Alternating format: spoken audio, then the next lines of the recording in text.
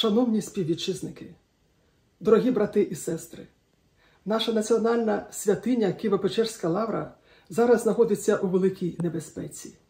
Її хочуть закрити і виселити з неї ченців, тих, хто відроджував святиню після довгих десятиліть панування радянської богоборчої влади, ченців, які в лаврських печерах приймали постриг на присвято служіння Господу Його святій церкві, при святій Богородиці, чиїм благодатним угіддям є Києво-Печерська лавра, служіння народу України.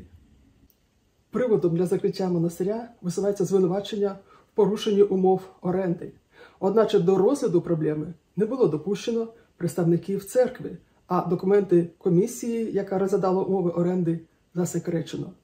Чиновники роблять усе для ліквідації лавської чернечої братії.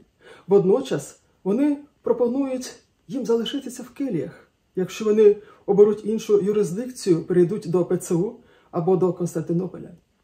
Одначе вся лаврська братія висловила вірність своєму священному архімандриту, блаженнішому митрополиту Київському і всієї країни Онуфрію, предстоятелю Української православної церкви.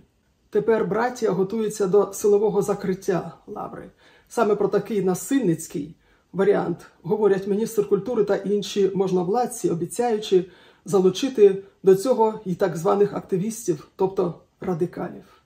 Цей захід є ланкою в ланцюзі інших репресивних дій щодо Української православної церкви, на яку чиновники від релігії відкрили справжнє гоніння всупереч Конституції та законів України.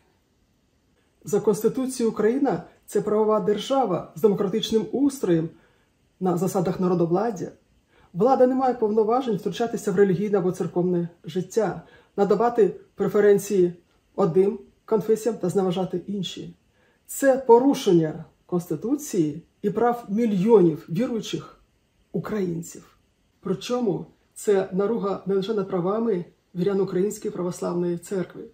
Попрання законності несе загрозу національній безпеці, зневажає Україну в світі, розхитує фундамент державного устрою.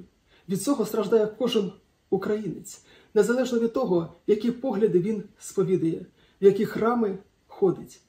Свавілля і беззаконня повинні завжди знаходити правову оцінку і бути засудженими, засудженими перш за все народом України, який є найвищим носієм влади в Україні. Зараз увесь наш народ в надзвичайно складних умовах виборює перемогу на фронтах війни. Ми вірні Української православної церкви з благословення нашого предстоятеля, блаженнішого митрополита Київського і всієї України Онуфрія, стали як один на захист вітчизни. Нам усім дуже важко. Гинуть зі зброєю в руках на передовій наші рідні і близькі, гинуть міста і села, спливає кров'ю вся Україна. Саме тому відкриття релігійної війни всередині суспільства серед власних співгромадян є неприпустимим, більше того, злочинним явищем. Це потурає ворогові та його пропаганді, розбиває єдність народу, послаблює обороноспроможність.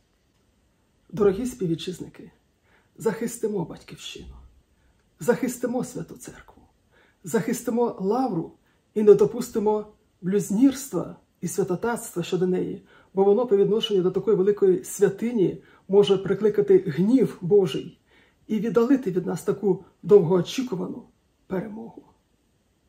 Окремо звертаюся до представників влади: не примножуйте народного горя, не торкайтеся питань релігії, не вбивайте нашу віру. Нам усім дуже важко. Ми самовіддано несемо тягар війни, але знищення нашої віри ми не перенесемо і не допустимо. Бо саме віра в Бога, в Його могутню допомогу, в Його милість і благословення нашій багатостраждальній, але незламній вітчизні є головною запорукою і знаряддям величної, славетної перемоги. Слава Ісусу Христу! Слава Україні!